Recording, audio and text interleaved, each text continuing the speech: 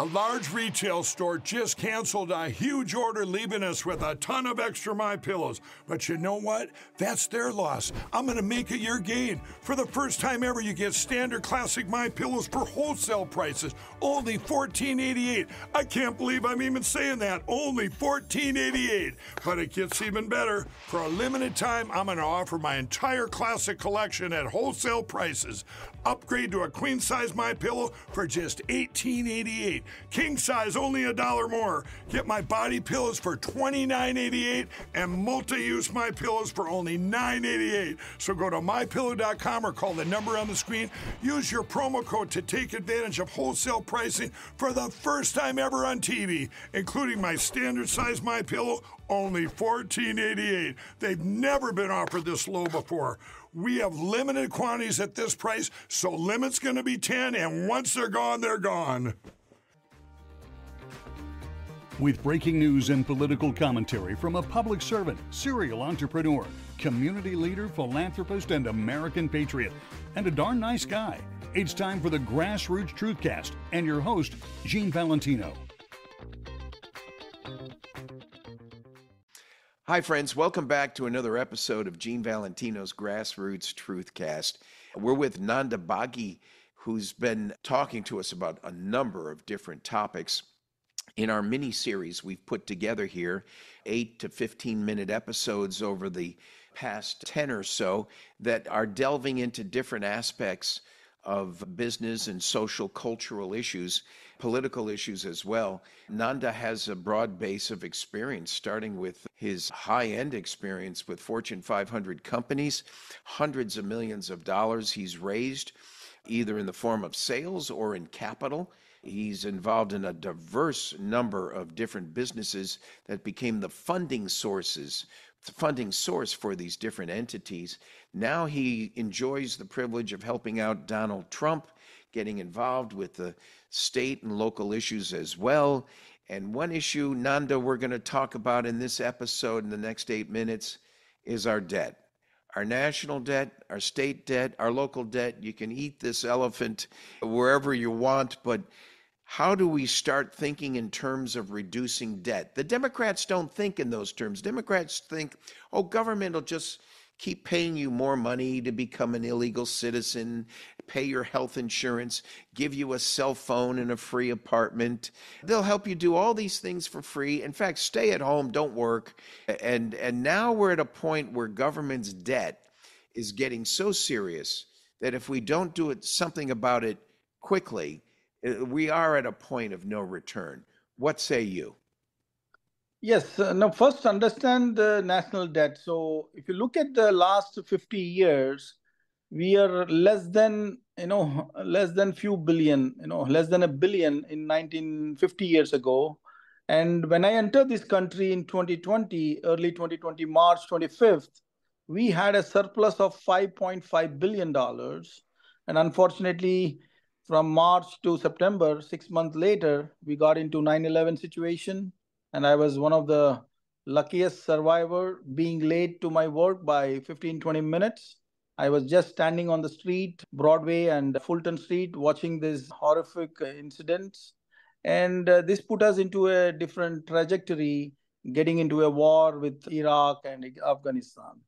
So again, again, as a defense, we went into this war, but we could have solved this war in few months or few years not like you know getting into that for almost 20 plus years or 24 years 21 years to be exact and spend 4 trillion on these wars. If that 4 trillion is spent on our infrastructure or created more jobs and getting more legal citizens more projects and there are so many ways you can give incentives in the beginning and you can tax also at the uh, when something is profitable for anybody so net net, this national debt should be taken, you know, by every citizen as if the burden is on their head. You know, if you hey, how you know, about a constitutional you... amendment that says that if there is a budget surplus, you must use the surplus first to pay down debt. Exactly, pay, exactly. That's that's a point. You know, like see, we have 300, you know, 79 adults, uh, percentage of adults of, of 333 million which comes to 200 million people in our average. So you can create different economy class, class one to 10, and, and create some you know framework and systems in place and make sure instead of adding a trillion dollar interest every year you pay the interest and you pay an additional trillion back by using the tariffs or using there are 100 different ways well first thing is a will if the leader has a will to eliminate this debt eliminate not not just pay the interest. So if the leader whoever the president i that the the intention should be there first and belief and experience should be there to wipe out this debt in less than ideally 12 years but even in the even if it is done in less than 25 years that's great you know because if we took 25 years to come to this debt and let's give another 25 years to put back to the surplus you know.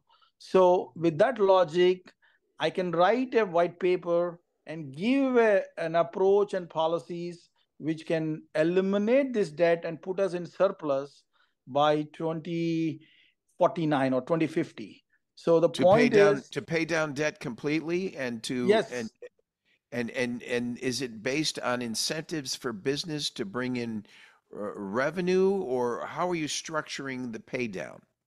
Yeah pay down basically at the end the government income should be more than our expenses. So the way you do it is you know whether you do whether you try to manage a million dollars or a hundred million or a billion or a trillion you make sure you have a surplus cash inflow of at least 33% at least so and minimize the expenses to the bare minimum and create the opportunities to have an income. Because today we have resources. We have white gold which is lithium. We have black gold which is oil. We have yellow gold as a gold. So we have so many resources. You know these resources are worth over 250 trillion dollars. 250 on trillion. the expense on the expense side how about uh, Gov- uh, president trump's idea of eliminating the department of education and transferring education and standardizations to the state level uh, as he did with the abortion issue but differently in the sense of the standards applying at the state level and let the states compete like they do for business. Let them compete as well for quality education as part of their portfolio their complement in drawing you to my state no the exact see all this education and all or like uh, i would say i won't even put them in the top 3 or top 5 because the first one is the energy independence you know. The number one category is number one category is energy independence. That means manufacture create more jobs do the production do the consumption here and make the production in such a way it is almost double than the consumption you know. That way you can export it and you know can reduce the imports and and uh, apply the same you know logic uh, you know basically creating more products creating more services having more legal citizens you know. Again the problem with the illegal is they won't pay the taxes and we have to on a humanitarian grounds we need to make sure they have a shelter they have a food they have you know all the 10 things that a human life needs. And then at the expense of the legal citizens you know. So the point is we we need to stop our wars we need to stop our charity and we need to focus on our you know we have uh, such a vast country vast resources encourage the enterprises encourage the manufacturing and try to be the number one manufacturing hub in the world. You know Nanda that is a, Bhagi, that is a vision trump has got. You know like president trump bring that passion and vision and his execution. You know he's not like other politician who talk something who deliver nothing who do not do anything you know whatever the 20 things he said he will make every attempt every minute of his life if he really wins and puts back into white house he will make sure his 20 promises his 20 promises are at least addressed at some level you know. So that is a kind of a commitment i have seen with him. Whereas other politicians you know, they do not even have a courtesy to visit their district. They don't even have a courtesy to do something for their district business and district people so i i am actually out of words where we always look for representative and we assume that representative is working in favor of our district in favor of our city in favor of our city and state which not. I, I would give this challenge to all the 435 congressmen. How many of them really did something for their district? If he's not done, then you have a two year time. And if you have not done out of 10 things you're supposed to do, there's no second term. You know, this is not a game where you take 10 years to get an expert and do it. You know, this is a job where you hit the ground running on day one. You know? Oh, so, from from your lips to God's ears, Nanda Bhagi. This has been a capsuled segment talking specifically about national debt and how you perceive. Folks, he has a great insight on how even the uh, I thought the debt was unrecoverable, but when you listen to him talk, you get a sense that there could be a plan, and clearly he believes it can happen under Donald Trump. Nanda Bhagi, thank you for joining us on this segment of the national debt on Gene Valentino's Grassroots Truthcast. We'll be back right after this with our next segment on the battleground states and their issues, demographics, and policies and the wish list right after this. Thanks for joining us for Gene Valentino's Grassroots Truthcast. Be sure to like and subscribe, and God bless America.